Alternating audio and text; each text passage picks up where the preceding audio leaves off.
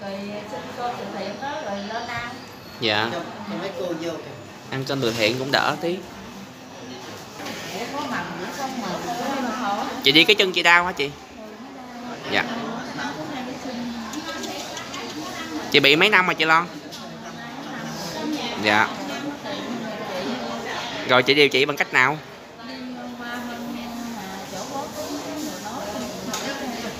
Dạ Thôi ôi Vậy đó hả? dạ. Chắc hổm ngày chị đi tới luôn chắc cũng nhức lắm hả chị ha. Dạ. Lúc đó là chị hả nói đầu tháo cốt là chị khóc muốn chết luôn. Dạ. Cái đầu uống thuốc tây rồi từ từ rồi thuốc nam uống thuốc nam rồi uống. Rồi bác sĩ có nói cái tình trạng mổ của anh như thế nào không chị ờ, nào mà có ờ, lên cho mẫu thì mới nói là cho hay giá tiền. Dạ. Rồi anh nằm bất tỉnh gì mà mình mình, mình chắc vô nước biển không? Chứ đâu có ăn uống gì được hả chị? Ăn uống đâu ăn ờ, ít ít vậy đó.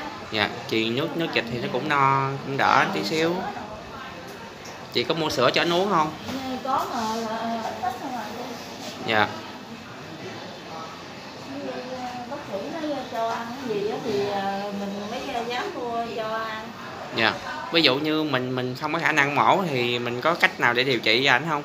Bác sĩ có tư vấn cái gì không? Thì bác sĩ nói là nếu mà cái này là cũng phải mổ rồi không mổ đâu được. Dạ. Không mổ thì nằm ờ, hai cái giò liệt rồi hai cái tay liệt luôn. Dạ. Cũng khổ ha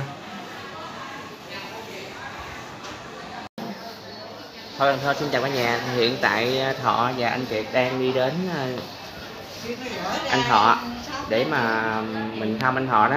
Thì tình trạng của anh thọ thì nghe chị Lon có chia sẻ là anh thọ năm nay nằm bất tỉnh 7 ngày chưa tỉnh. Thì đang bị à, chấn thương chỉnh hình đó. thì theo thọ được anh Dũng chia sẻ thì cái đốt sống của anh cột sống của anh Dũng, ủa, anh Thọ thì nó là bị bị gãy, rồi bị gãy bẹ bẹ bẻ sườn, rồi bẹ dai nữa dạ anh chào chị Lon Dạ. dạ anh tỉnh anh anh anh bớt cho chị. Nó lớn Cũng hơi hơi ấy thôi chứ chưa có tỉnh không cô ơi. chỉ có một bên thì nó nhích nhích chút xíu à. Dạ. Còn bên kia thì không có nhích nhích được. Dạ anh bị sao mà bị tai nạn giao thông dữ vậy chị? À, đi về quê ờ, rước vợ. Dạ. Rồi rồi à, rước thì sao mà mà đụng dữ thần rước vậy sáng rồi chạy xe rồi né thằng xe trước rồi hai thằng ở từ ở dốc cầu treo rồi nó đâm xuống rồi quẹt ổng rồi văng ra ngoài đường đó. Dạ. Rồi sao chị hay được cái tin mà chị à, chị rồi người nhà gần đó rồi mới điện.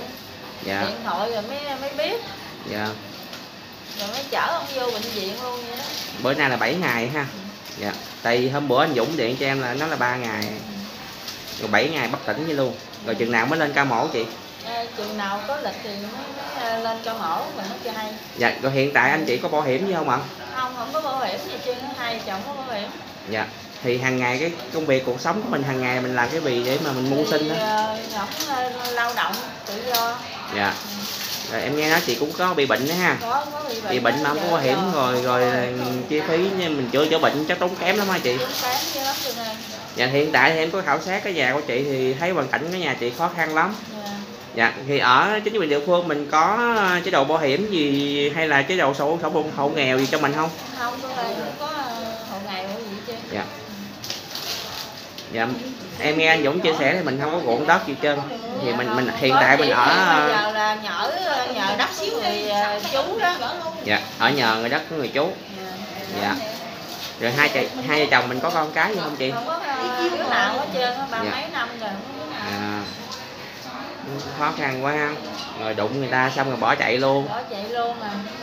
Rồi chị có báo chính quyền địa phương ở đó không? Có mấy người ờ, giao thông đó mà chưa có tìm ra được. Dạ. Em cũng hy vọng rằng mình tìm ra cái cái người đó để mà mình à, pháp luật để mà, mà mình giải quyết cái chuyện của anh cho nó đỡ phần nào một tí thì hôm nay anh Kiệt có đại diện ờ, đoàn ờ, thiện nguyện tự tâm á. Anh có đến đây để mà đại diện mạnh thường quân để trao cho anh chị cái số tiền. Hôm nay cũng như tin ờ, họ bị tai nạn không chịu được thì đoàn thiện nguyện tự tâm của chúng em ở bệnh Lớn lớn tí xíu thì nha dạ cũng như có phần nào để thuốc thang để chi phí cho với chị hàng ngày thì tất cả các bạn trồng quân của thị xã Bình Minh thì có giống như là Ngọc Trâm yeah. giúp đỡ chị yeah. rồi hai đứa cháu bỏ nước đá tức là cháu Linh yeah.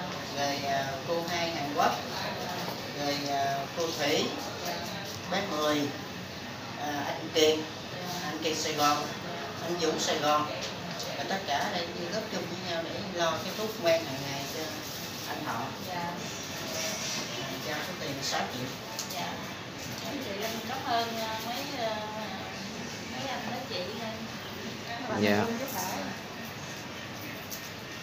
rồi chúc à, cho anh khỏe nha chị khỏe nha ờ, thì cả nhà thấy anh anh họ anh đang nằm bất tỉnh 7 ngày rồi thì cái lịch mổ thì cũng chưa có nữa thì hiện tại thì nghe, nghe anh Dũng kể là chấn thương tới ba chỗ rồi thì nếu anh chị mạnh thường quân nào mà có xem video của thọ thì à, hãy chia sẻ.